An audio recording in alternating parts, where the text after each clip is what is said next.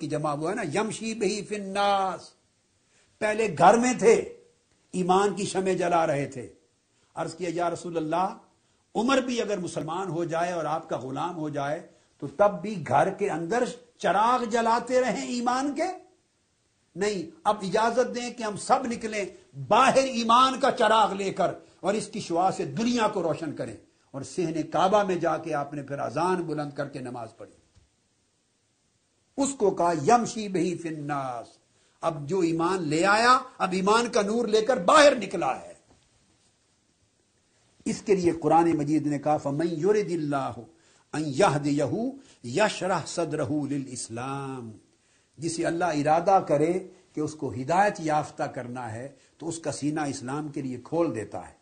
ये उससे अगली आयत थी, आयत नंबर 125 अब ये जो आयत है, इसके बयान में वही उमर फारूक रज़ी अल्लाह तु के इस मोमिन की और शर सदर नसीब हो जाने वाला मोमिन और नूर ईमान पा लेने वाला मोमिन और नूर ईमान से दुनिया को रोशन करने वाला मोमिन सहाबी ये बयान करके आगे लाते हैं हज़रत इमाम अली रजा का कौल कि सीना किस तरह रोशन होता है, अल्लाह की हिदायत के साथ नूर से किस तरह रोशन होता है।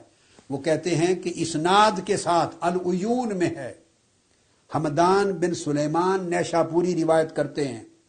काल साल तो अबल हसन और रिदा कि मैंने इमाम अली रिजा अलैहिस्सलाम से सवाल किया, अन कौल अल्लाह के इस इर्शाद के बारे में। याद रख लें, उसी सभा पर सीदना फारूक आज़म की रिवायत को लाकर अब आगे इस आयत की तफसीर कर रहे हैं। मैयुरदिल्लाहू यशरा सदर इस्लाम। इस आयत का क्या माना है? तो इमाम अली रजा ने फरमाया कारफ मैयुरदिल्लाहू बे ईमान ही फिद दुनिया व इला जन्नत ही व दार करामत ही फिल आखिरा यशरह सदरहू लित तस्लीम लिल्लाह व फिकत भी व सुकून इलामा व अदम सवाब ही हत्ता यतमइन इलई फरमाया, इसका माना यह है कि जैसे उमर फारूक रज़ी अल्लाह तु की बात हो चुकी, इमाम अली रजा ने फरमाया कि जब अल्लाह किसी को हिदायत याफ्ता करने का इरादा फरमा लेता है तो दुनिया में उसे कायम रहने वाला ईमान अता कर देता है। वो ईमान उससे कोई छीन नहीं सकता। जब इमाम अली रजा ये फरमाएँ कि अल्लाह जिसको हिदायत और ईमान जिसके अंदर मुतमक्न कर दे, वो ईमान छीना नहीं जा सकता। तो कौन से किस्से कहानियाँ हैं और झूठी घड़ी हुई रिवायतें हैं, जिनकी वजह से आप उमर फारूक के ईमान को छीनना चाहते हैं। इस मुगालते से अपने आप को बचाइए अजीजा ने मोहतरम, खुदारा बचाइए। और फिर इमाम अली रजा फरमाते हैं, दुनिया में ईमान पर कायम रखता है वहीला जन्नत ही वदार करामत ही फिल आखिरा। और वो ईमान उन्हें आखिरत के दिन तक, जन्नतों तक लेकर जाता है। जन्नतों तक लेकर जाता है। और जो शरह सदर फरमाया कि सीना खोल देता है। उसका मतलब है, वो अल्लाह के सामने सरापा, तस्लीम और रजा बन जाता है। और कामिल तबक्कुल और वसूक उसको आ जाता है। और सिर्फ़ तबक्कुल ही नहीं, उस पर उसका दिल अल्लाह के वादों पर, जो आखिरत के वादे हैं, सुकून और इतमान करार पा जाता है। अब ये पूरी चीज़ों को बयान करके, एंड पर आयतुल्ला तबा तबाई फिर कंक्लूड करते हैं, वो कहते हैं, वह फिल हदीस निकातुन हासानातुन तुशीरो इला मा शरह ना हो फिल बयान मुतकदम इस हदीस में बड़े खूबसूरत निकात थे और निकात हैं जिनकी तरफ़ हमने इशारा कर दिया और हमने इस ऊपर पूरे बयान में उनका इशारा करके वाजे कर दिया। गोया जरा नहीं की, रद्द नहीं किया, इसका इख्तलाफ इस पर नहीं किया, इस पर तान नहीं की और इसको मिन्न कबूल कर लिया। फिर इसके बाद आखिरी आयत जो आज की नशिस्त में बयान करके ख़त्म करूँगा गुफ्तगु, वो फिर आयतुल्ला तबा तबाई की तफसीर अलमीज़ान जिल्द दो, सूरह बकरा, उसके तहत वो बयान आता है जो कुरान मजीद सूरत बकरा की दो सौ बासठ आयत के तहत, अल्लाजीना युनफिकून अमवालहम फ़ी सबीलिल्लाह।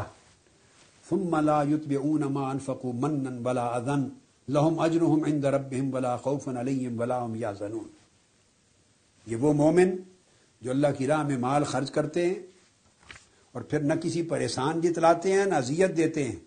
उनका अजर अल्लाह के पास है और क़यामत के दिन उन्हें न कोई खौफ होगा, न गम होगा। वो अल्लाह के महबूब मुकर्रब लोग हैं। इस आयत करीमा के तहत जिल्द दो तफसीर अलमीज़ान में आयतुल्ला तबा तबाई तबा तबाई बयान करते हैं। दो रिवायतें।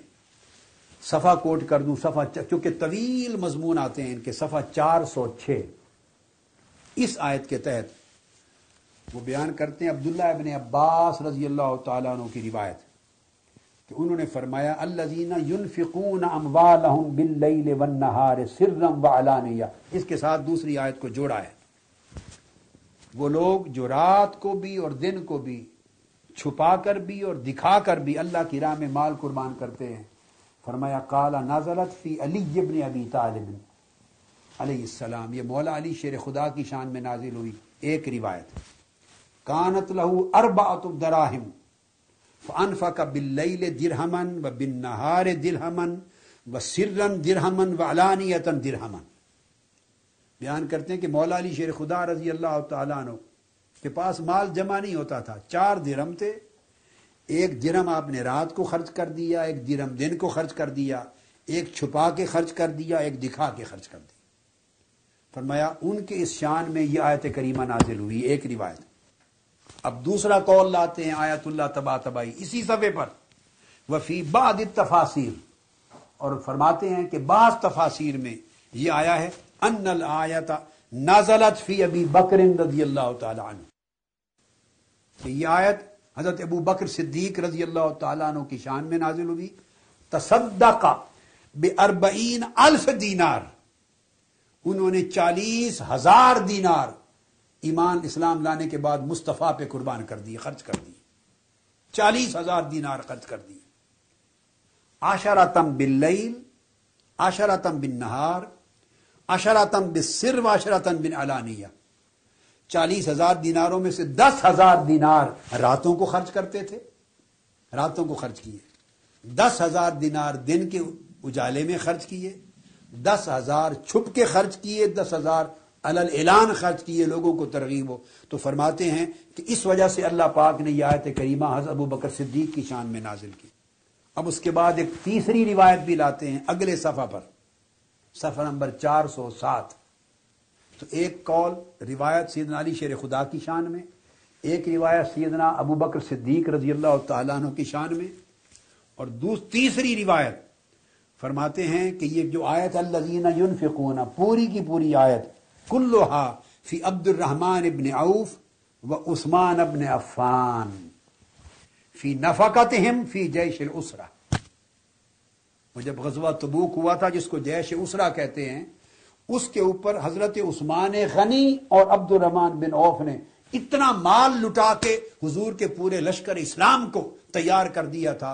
वो कहते हैं, तीसरा कौल है कि ये उस्मान गनी की शान में नाजिल हुई। रदी अल्लाह तु तो आप देख लिए सीधना सिद्दीक अकबर की शान में भी आयतें आ गई, फारूक आज़म की शान में भी आ गई, उस्मान गनी की शान में भी आ गई। ये सारे कौल उन्होंने अलग अलग दे दिए। और फिर एक कौल ये भी दे दिया है कि ये एक एक की शान की बजाय बल्कि जमी सहाबा कराम और अहल बैत अतहार का भी शान इसमें नुमाया होती है। हर कोई अपनी बसात के मुताबिक हुजूर के हुक्म पे खर्च करता था। अल्लाह पाक ने सारों को ये शान अता की। अल्लाजीना युनफिकून के तहत। आज की गुफ्तगु यहाँ पे ख़त्म करते हैं। एक मुख्तसर सा रेफरेंस है, वो भी आज ऐड कर देता हूँ। और कल इंशाला मजमून को आगे शुरू करेंगे, मुख्तसर रेफरेंस और ये कुरान मजीद की एक और आयत करीमा है, वल्लजी जा अब सिद्क व सद्दा का बही उलाकून ये सूरह जुमर की आयत है, आयत नंबर बत्तीस थर्टी टू और सूरा यानी चैप्टर नंबर थर्टी नाइन वो हस्ती जो सिद्ध के साथ आई, सदाकत सच्चाई के साथ मबूस हुई, वह सद्दा का बही और जिसने उसकी तस्दीक की, उसको सर्टिफाई किया टेस्टिफाई